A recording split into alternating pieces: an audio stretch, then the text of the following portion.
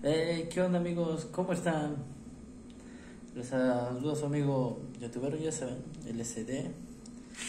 Bueno, bueno, el, el tema de que nos eh, compete. eh, en una entrevista con que le hacen a Capela, un, eh, rapero venezolano, le preguntan, oye, ¿quién es un rapero, si es verdaderamente rapero, no sé qué, ah, Bad Bunny, ¿no? Y ahí empieza a decir, no, Bad Bunny no es rapero, tampoco es rapero residente, y empieza a decir, rapero, un rapero real es este,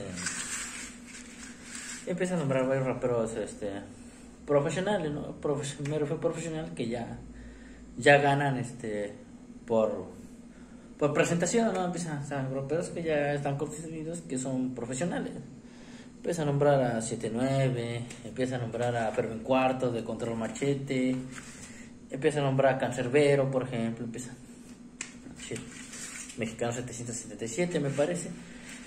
Empieza a nombrar varios raperos que son este. que ya están constituidos, profesionales.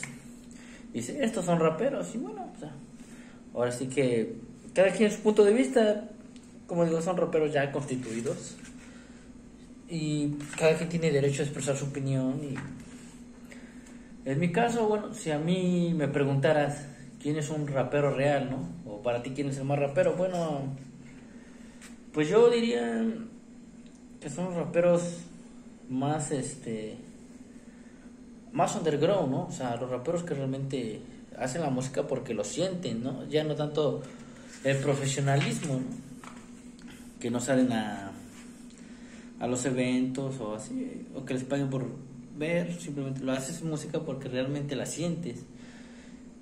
Porque sí, ese es el verdadero rapero para mí, el verdadero rapero.